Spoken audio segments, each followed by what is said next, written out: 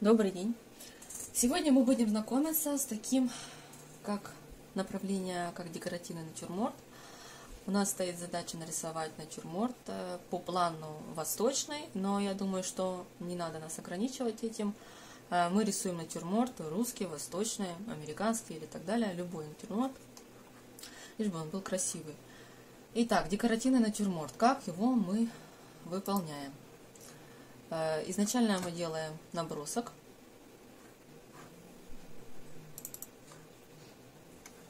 Карандашом.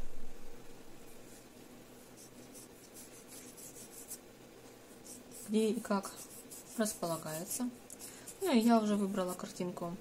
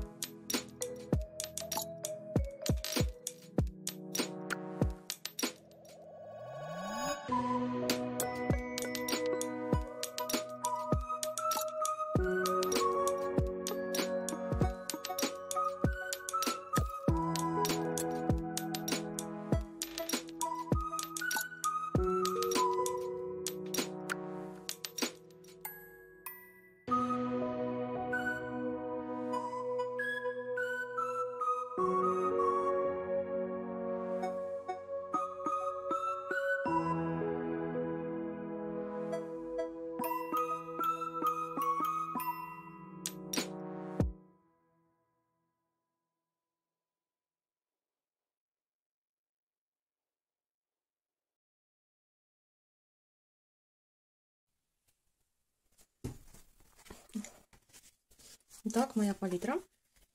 Я испробовала все цвета. И э, выбрала, что мне нравится. Еще мне вот понравился вот этот цвет. Это просто пробовали оттеночек. И идем дальше. Смотрим. А здесь специально полосу оставила, э, чтобы э, разложить еще раз те цвета, которые мне понравились. Цвет бумаги у нас интересный, мы его будем использовать.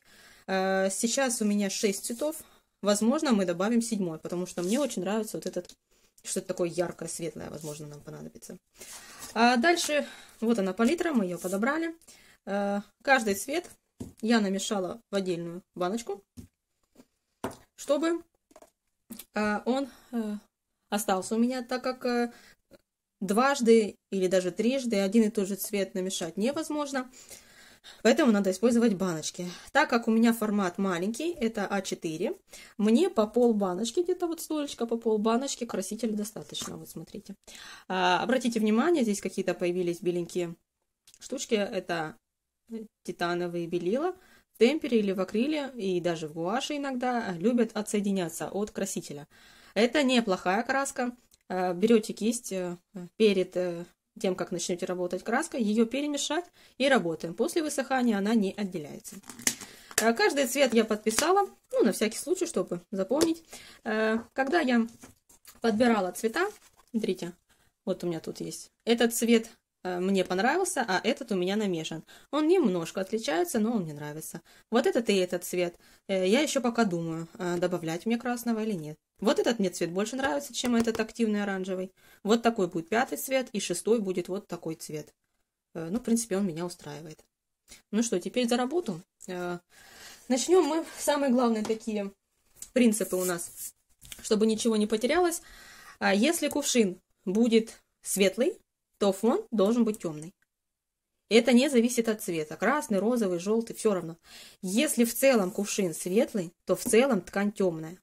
Если здесь ткань темная, светлый кувшин, темное яблочко, средний тон у э, грушки и светлый может быть Э, виноград. Или темный, прям темный-темный. И тогда яркая может быть тарелочка. То есть это все в голове мы должны продумать, разложить. Э, в идеале к большой, большому формату делаются маленькие как бы подмалевочки. То есть раскладывают цвет без деталей. Э, ну, у меня уже, наверное, опыта достаточно, чтобы сделать без эскиза цветового. Хотя его надо делать. Потому что даже у меня иногда бывают как бы прорехи, я перекрашиваю цвета. Но так как я работаю темперной краской, а, она намного плотнее гуашевой краски и акриловой краски, а, то здесь любой цвет можно перекрыть полностью, и это не будет заметно, то, что я его перекрасила. А работу эту декоративную можно выполнять краской любой, хоть акварелью. Единственное, надо учитывать то, что если вы работаете акварелью, то у вас нет права на ошибки. То есть акварель, она не справляется. Если вы работаете а гуашью, гуашь, э, если она плохо размешана, она оставляет белесые такие, как бы проявляется белесость какая-то определенная. Вот, допустим, где вот так идет кисть, и может на стыках выходить какие-то белесые оттенки. Если вы работаете акрилом, акрил немножечко он прозрачный, а э, гуашь и акрил, она хоть и перекрывается, но не так сильно, как темпера. Темпера имеет полную укрывистость, то есть она прокрывает полностью лист и непрозрачная. Ну, я думаю, что можно уже приступать к работе.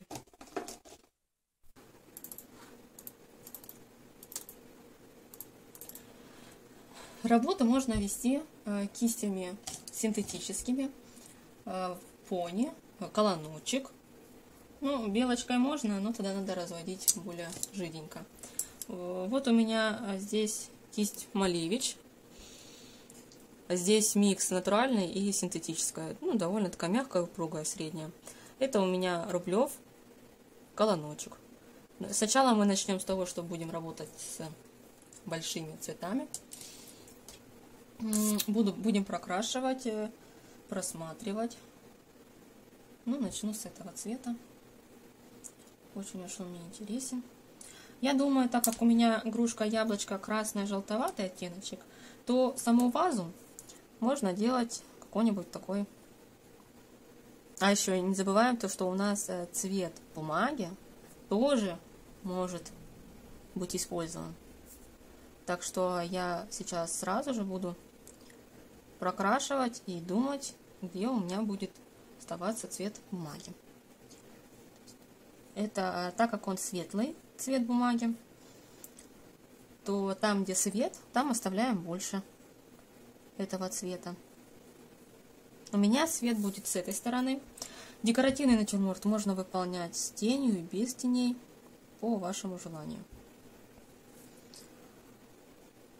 Я декоративный натюрморт сравниваю с головоломкой.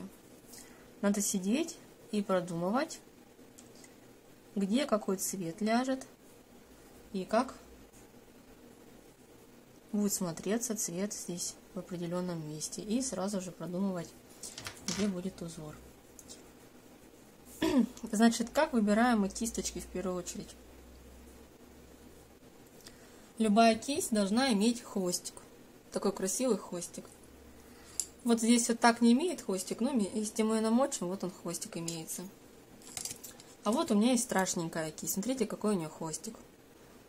Э, э, она испортилась не потому, что фирма, а потому, что я ей много работала. Э, такой кистью мы не рисуем. Она мне нужна для замешивания красок. Вот такая кисть.